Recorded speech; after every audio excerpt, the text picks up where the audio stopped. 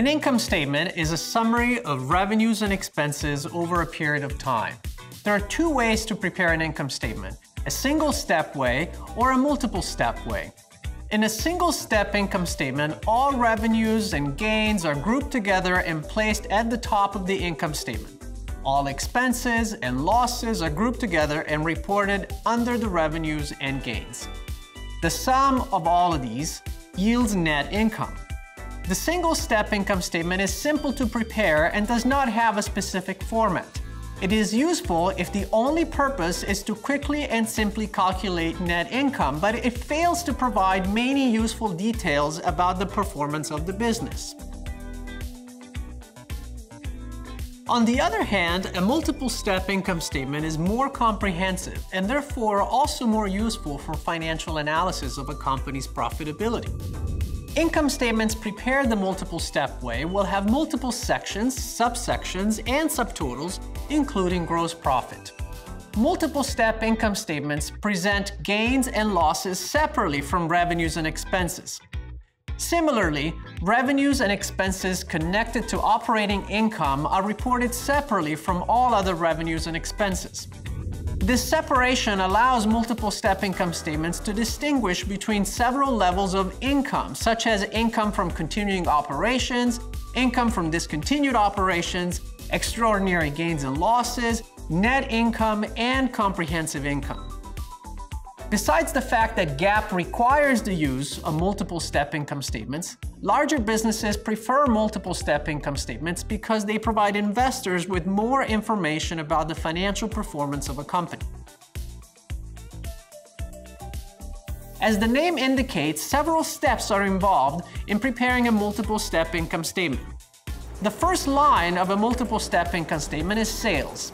Sales includes the revenue a company generates during the financial statement period. For example, if a company sells $100,000 worth of products during the year, then that amount would equal sales during the financial statement period for a yearly financial statement.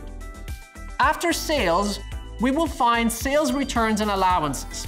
Sales returns occur when a customer returns merchandise. A sales allowance is similar to a discount, but unlike a discount, it is not offered because the business desires to increase sales, but because there are defects in the product. For example, a sales allowance is what would happen if a customer receives a 20% discount for having purchased a piece of furniture on display in the warehouse. Sales, net of returns and allowances, yields net sales. Net sales minus cost of goods sold equals gross profit. Keep in mind that cost of merchandise sold and cost of goods sold are synonymous terms. Cost of goods refers to the total cost of the goods that were sold during the period reported in the income statement. The basic formula to calculate cost of goods sold is beginning inventory plus purchases minus ending inventory equals cost of goods sold. The portion in parentheses tells us how many units were available in inventory between beginning inventory and additional purchases made during the period. Ending inventory represents whatever has not yet been sold. Therefore, the difference between the portion of the formula in parentheses and ending inventory will yield the cost of goods that were sold. Another important element of the multiple step income statement is gross profit. Gross profit reflects how much profit a company has left for other operating and non-operating expenses after covering the cost of goods sold. The formula for gross profit is sales minus cost of goods sold equals gross profit. The gross profit amount indicates how much income can be used to run the company's operations. This may be used for expenses such as salaries, utilities, and rent, if a company has negative gross profit, it shows the company is selling goods below cost. For this reason, a negative gross profit is a strong indicator that a company will not last much longer in the marketplace unless this problem can be solved. After we calculate gross profit, we add up all the operating expenses and subtract them from gross profit. This yields operating income. Operating income is income earned from normal business operations. Common operating expenses can include advertising, sales commissions, or supplies. These expenses are basically anything that involves the day-to-day -day operations of the company. Gross profit minus operating expenses equals operating income. Once operating income has been computed, we add non-operating income and expenses, extraordinary gains and losses, and income from discontinued operations. We finally subtract income taxes and arrive at net income.